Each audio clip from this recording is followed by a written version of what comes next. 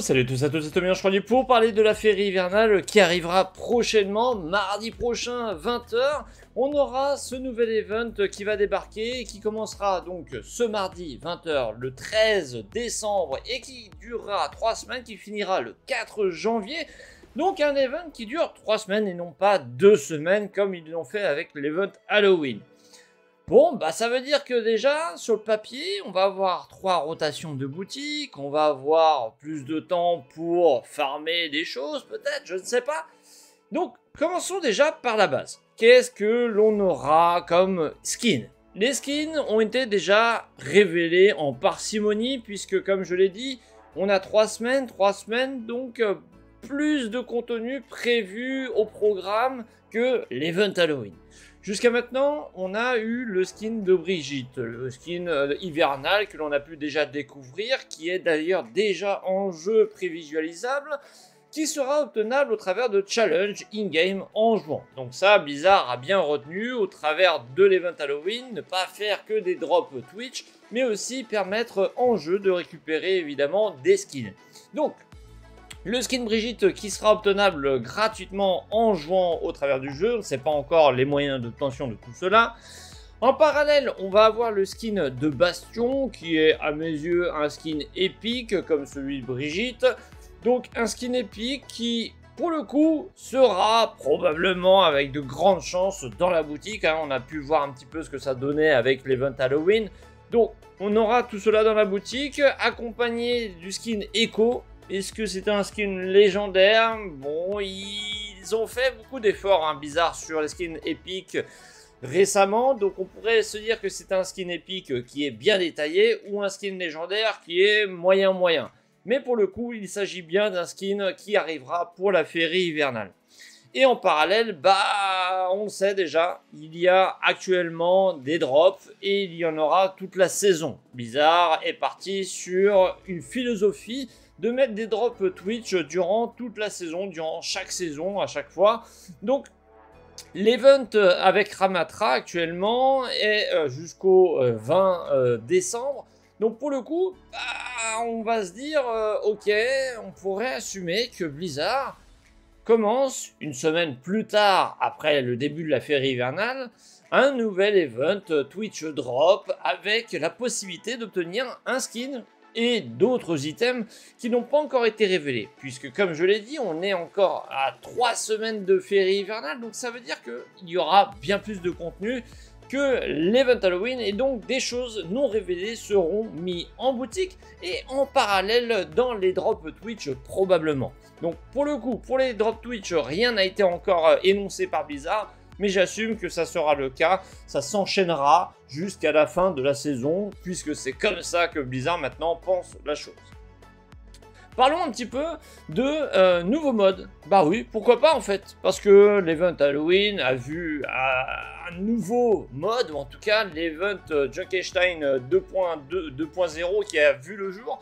Donc là, on est sur une attente probable d'une évolution aussi dans ce sens sachant que juste après la féerie hivernale, hein, on a la bataille pour l'Olympe. La bataille pour l'Olympe est un tout nouveau mode de jeu. Donc, je ne serais pas étonné que Blizzard ait fait aussi un effort pour la féerie hivernale de faire un tout nouveau mode de jeu. Aujourd'hui, on a la chasse au Yeti, on a la bataille du boule de neige en FFA, en équipe. Mais c'est vrai que ça serait bien d'avoir un tout nouveau mode de jeu pour faire bonne figure quand même, même s'il s'agit encore une fois d'un mode PVP facilement reproduisible dans le workshop, mais c'est encore quelque chose, un petit ajout qui donne cet effet de fraîcheur qui permet aux joueurs de revenir, de tester et malheureusement des fois de pas rester longtemps dans ce mode de jeu. Hein. On sait très bien qu'il y a certains modes de jeu qui n'attirent pas beaucoup de joueurs malheureusement. Donc Nouveau mode de jeu Peut-être. On verra. Nouvelle map thématique de Noël. Ah, là, on est sur quelque chose d'assez intéressant parce que avec l'arrivée d'Overwatch 2, nous avons perdu les 2CP, qui contenaient Anamura en mode Noël, en mode hivernal. Et en parallèle, aujourd'hui, il nous reste donc plus que Kings Row et Black Forest. Black Forest qui est une map arcade, donc on pourrait limite l'écarter euh, de ce lot.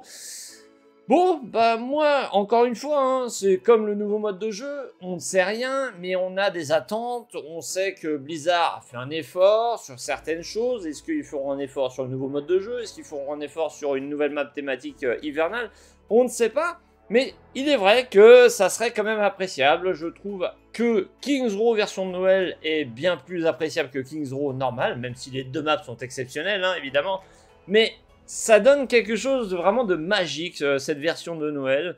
Et elle est vraiment bien faite. On a perdu Anamura de Noël, donc peut-être que Blizzard ferait un effort euh, pour aller de l'avant, pour nous mettre une nouvelle map thématique hivernale, et non pas avoir seulement Kings Row, et en parallèle évidemment euh, Blizzard World, hein, que j'ai zappé. Donc bon, bah, est-ce qu'on pourrait avoir une toute nouvelle map comme cadeau de Noël? Je ne sais pas. Sachant que pour l'event Halloween, hein, on a eu Eichenwald, qui était renommé en Adlersbrunn, mais qui était finalement une version déjà connue. Et en parallèle, on avait normalement Hollywood. Donc Hollywood, bah là on l'a pas vu en mode euh, Halloween, je ne sais pas, euh, Blizzard, pas de communication officielle concernant cette map euh, qui était présentée dans son format officiel et non pas son format Halloween durant l'event Halloween. Malheureusement, on ne saura pas le, fin mot de l'histoire. Donc, là pour le coup, on verra ce que Blizzard va nous fournir. On a des attentes sur les skins, on a des attentes sur les modes de jeu, il y a des attentes sur les maps rework en version de Noël. Mais il y a une dernière chose que l'on avait dans Overwatch 1 et que l'on n'a plus pour l'instant dans Overwatch 2, c'est la notion des lootbox.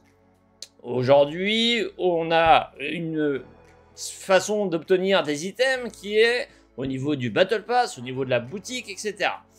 Et il y a un truc qui s'appelle le Père Noël. Blizzard faisait office de Père Noël au jour de Noël. Il nous offrait, je crois, si je me rappelle bien, 5 lootbox dans Overwatch 1. Là, dans Overwatch 2, j'ai peur de connaître la réponse. J'ai peur qu'ils nous fournissent de l'XP de Battle Pass. Genre, un petit peu comme les niveaux de recommandation, vous êtes niveau 3 de recommandation, félicitations, vous avez 3000 XP, ce qui est très très pauvre évidemment sur le papier, et j'espère que Blizzard n'ira pas dans ce sens, parce que c'est bien, c'est sympa, mais ça ne fait pas vraiment office de cadeau de Noël, sachant que la plupart des gens auront fini leur Battle Pass en fin de saison, donc ça n'aide pas vraiment. Donc, on aimerait peut-être avoir un skin légendaire en cadeau, peut-être encore mieux des pièces Overwatch 2 en cadeau, genre, euh, allez, je dis n'importe quoi, 2000, allez, comme ça on peut peut-être acheter un skin légendaire dans la boutique, Wouhou, grosse fête. Donc, on ne sait pas sur quoi Blizzard va partir, je ne sais même pas si effectivement ils nous feront un cadeau cette année. Euh, j'espère qu'au pied du sapin, Overwatch 2, on aura quand même quelque chose. Donc voilà, nous, en tout cas, on va se quitter là-dessus. Event qui arrive mardi. Ça va arriver évidemment très très vite. Hein. la saison 2 a à peine commencé. Que l'on va avoir la féerie hivernale. Puis, trois semaines après, la bataille pour l'Olympe. Puis, ah, juste après, je crois au bout de deux semaines, on va avoir le nouvel an lunaire. Franchement, tout cela va s'enchaîner très rapidement. La saison 2 est pleine d'events. Et ça, en tout cas, ça fait plaisir. Donc voilà, comme d'habitude, n'hésitez pas à liker, partager, commenter et on se retrouve très bientôt pour de nouvelles vidéos. Ciao, bientôt. Bye bye.